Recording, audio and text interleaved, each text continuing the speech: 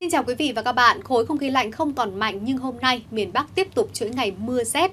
Ở miền Trung có nắng vào trưa chiều, còn Tây Nguyên và Nam Bộ vẫn nóng cục bộ. Ở miền Bắc, khối không khí lạnh có cường độ ổn định và đang suy yếu dần, di chuyển lệch ra phía đông, hình thành lại đới gió đông nam đưa ẩm từ biển vào. Vì thế, trời nhiều mây vào đêm và sáng.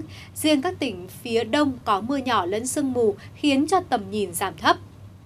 Mức nhiệt cao nhất trong ngày ở đây cũng chỉ từ 19 cho tới 22 độ, trời tiếp tục rét ẩm kéo dài. Còn khu vực phía Tây Bắc Bộ trưa chiều giảm mây hưởng nắng, nhiệt độ tăng lên mức 24 đến 26 độ. Trời chỉ còn rét về đêm và sáng. Với miền Trung, không khí lạnh suy yếu nên trời chỉ còn nhiều mây, có sương mù về đêm và sáng ở các tỉnh phía Bắc đèo Hải Vân, còn trưa chiều giảm mây hưởng nắng. Nhiệt độ tăng dần từ Bắc vào Nam. Ở Thanh Hóa, Nghệ An và Hà Tĩnh cao nhất đạt mức 23 đến 25 độ, nhưng đến khu vực Ninh Thuận, Bình Thuận có thể chạm ngưỡng 31 đến 32 độ. Không chịu ảnh hưởng của các hình thái thời tiết ở phía Bắc, nằm sâu trong khối không khí ổn định. Vì thế, ở khu vực Tây Nguyên và Nam Bộ tiếp tục chuỗi ngày thời tiết tốt. Đêm không mưa, ngày nắng, với nhiệt độ cao nhất tại Tây Nguyên nhích nhẹ lên ngưỡng 29 đến 32 độ. Khu vực Nam Bộ 33 đến 35 độ và nóng cục bộ ở các tỉnh miền Đông Nam Bộ. Trên biển khu vực Bắc Biển Đông, vùng biển huyện đảo Hoàng Sa có gió Đông Bắc mạnh dần lên cấp 5.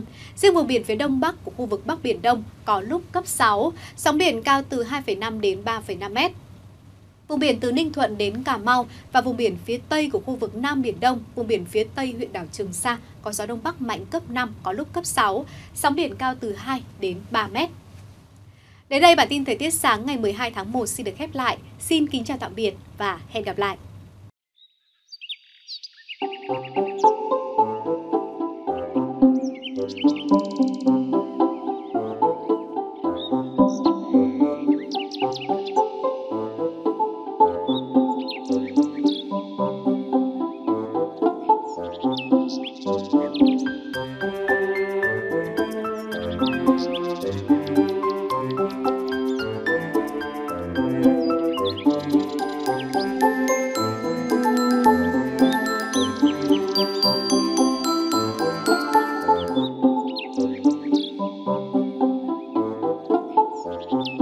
Thank you.